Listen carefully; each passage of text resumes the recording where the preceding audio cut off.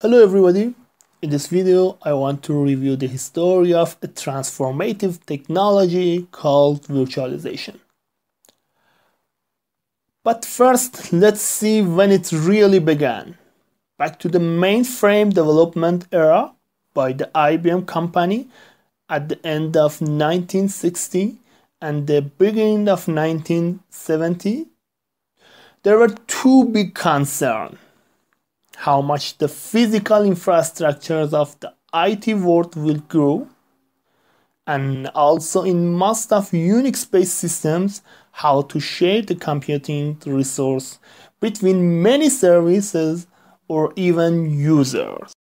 So, this idea has been originated by the following challenges how to effectively use the extra capacities like big unused memory or idle processors with respect to one of the mentioned concerns how to use the physical servers without have its physical ownership. And in conditions of a disaster has been occurred can we move or migrate our services? Regardless of efficient usage of physical resources these mentioned challenges bring up some goals for example, faster service provisioning includes all steps of installing and implementing in front of traditional methods of the service providing, how to achieve the better methods of the data center management and its critical components like servers and databases, and how to get a perfect IT mobility in response to the business continuity. A perfect answer for these challenges is the virtualization, and this concept is achieved only by the hypervisor technology. Hypervisor or virtual machine monitor has a primary target construction of the virtual components like the virtual machines, virtual adapters or controllers, virtual switches, and etc.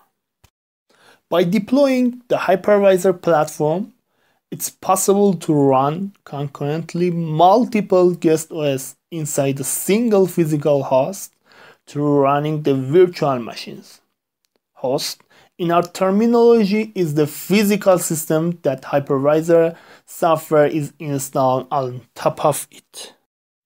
More precisely, the hypervisor is a software that acts as a new abstraction layer to separate operation system and its applications from the underlying physical hardware.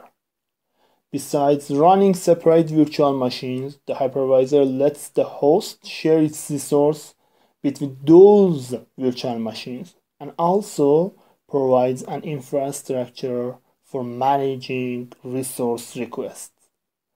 A hypervisor allows a host to support running different types of guest OS into the virtual machine, like Linux, Windows, and so on. But exactly which types of physical resources we mean as the shared components? By default, we can say everything. But in the design concept, we usually mention these important hardware components CPU or processor, RAM or memory, disk or storage, network or bandwidth. There are two primary type of hypervisor. Type 1 or bare metal and type 2 or hosted. As you can see in the bare metal architecture, the hypervisor will be installed and run directly on top of the hardware layer and manage the host's resources and handle the virtual machine request without any additional software. So in this type, there is no need to install a separate OS on the physical host because the hypervisor itself will respond to any operations related to this area and acts as well as both of operation system and virtualization software. But unlike the bare metal in type 2 or hosted, it's required to set up an operation system on the physical host before hypervisor installation process. So in this type, the hypervisor should be set up as a piece of software and require an independent OS on top of the hardware layer to act as the virtualization platform on top of the OS layer. Any hardware problems or software issues that lead to the host OS failure will make the hypervisor software stop working. Then all virtual machine will not work anymore.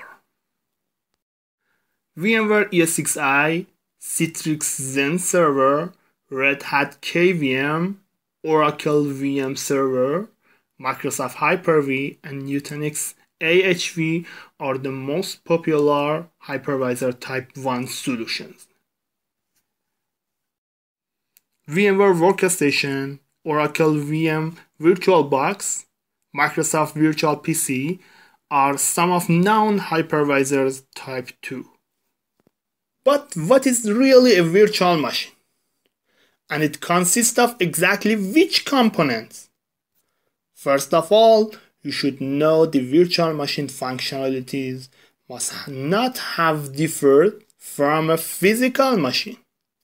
And when we run multiple VMs inside the host, each of them has its own guest OS and applications.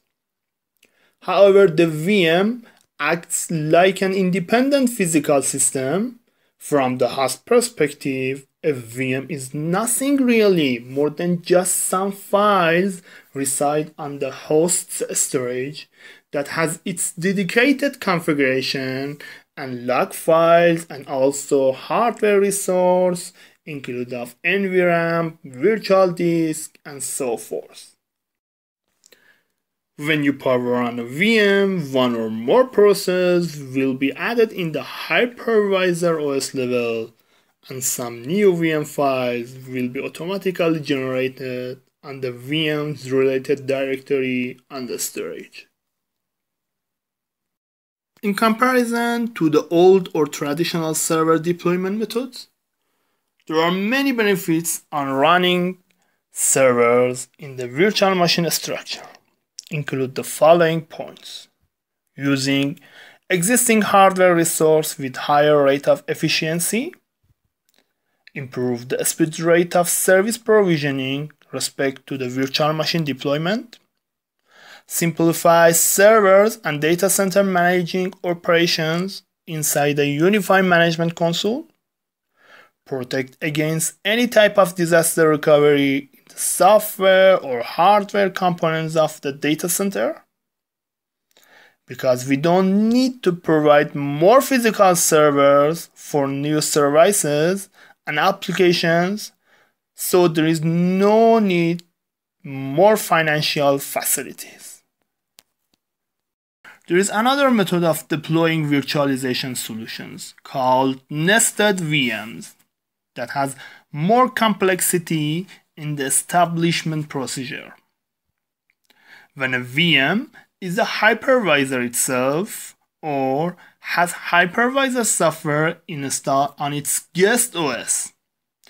If you want to know exactly in this structure, we will deploy two hypervisors that one of them will be set up as a virtual machine inside the other one and while it can act as the host for some VMs, it's still a virtual machine for another host.